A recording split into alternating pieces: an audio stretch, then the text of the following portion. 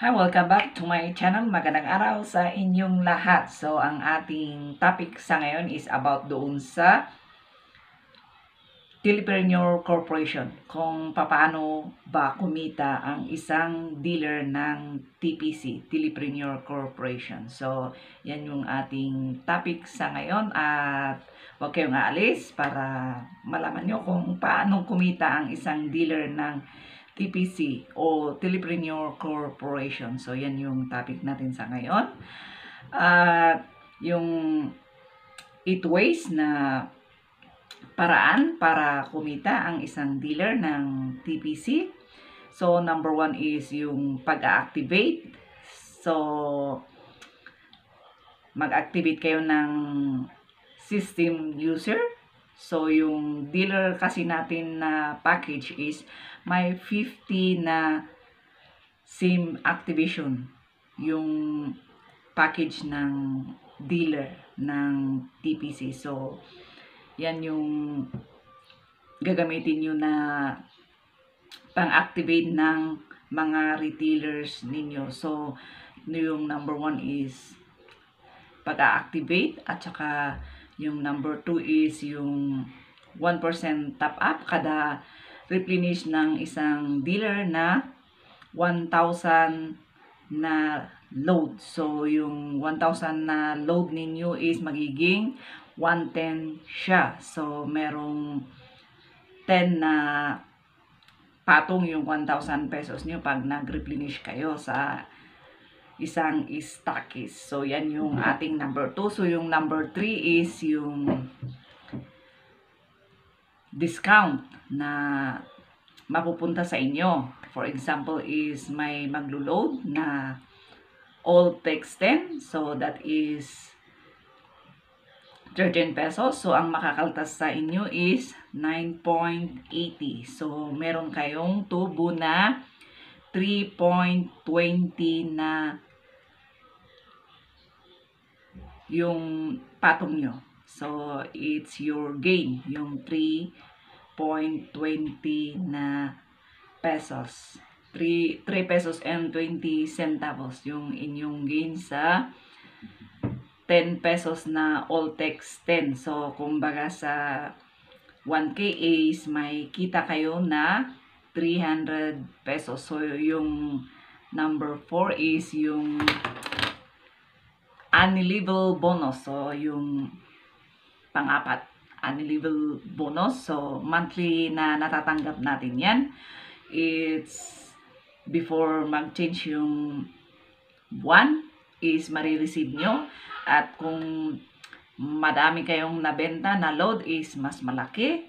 Kasi pag na-reach ninyo yung 7,000 monthly, malaki yung inyong rebates. So, annual bonus ang tawag nila dyan or yung rebates nyo na monthly. So, kung yung mga pairing-pairing yung team A, team B nyo is mabilis din, ano, mas malaki din yung annual bonus natin. So, yan yung number 4. So, yung number 5 is yung share and endorse. So, it's offline or it's online sabi niya dito, na promotion. It's a, either na-promote online or offline. So, meron kayo dyan na 300 pesos direct referral. So, yan yung bonus for every system under your team. So, yan yung ma-share nyo na 300 pesos as long as under sa team nyo or sa organization ninyo. So, yung number 6 is yung additional bonus.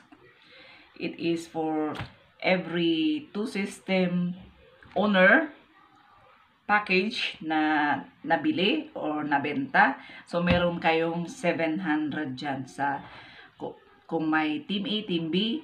So, yan yung 700 pesos bonus or unlimited 700 bonus every time na may pumasok na nag-prepare sa Team E at saka sa Team B. So, yan yung mapupunta sa inyo kung under sa team ninyo. So, 700 yan. So, yung pag may nag-prepare, meron kayong 700 yan. Example is sa team A and then sa team B. Yun.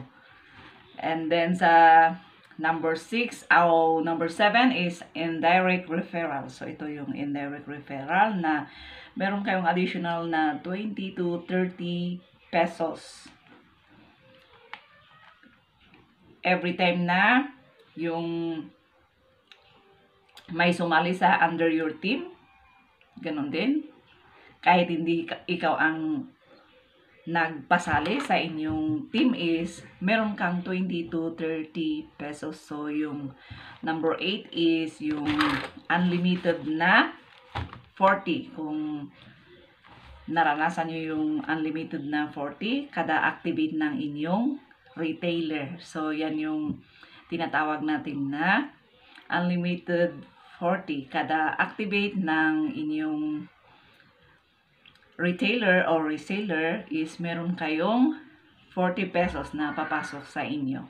So, yan yung number 8 na pang number 8, I should say, na pwede nating pagkakakitaan as a dealer ng Telepreneur Corporation. So, yan mga kaibigan, yung mga tips natin kung ano yung pwede nating pagkakitaan as a dealer ng TPC Telepreneur Corporation. So, sana nakatulong sa inyong lahat and huwag kaligtang i-click yung ating subscribe button below at yung notification bell para ma-notify kayo pag may bagong videos na upload tayo. So, thank you for watching sa ating mga subscribers.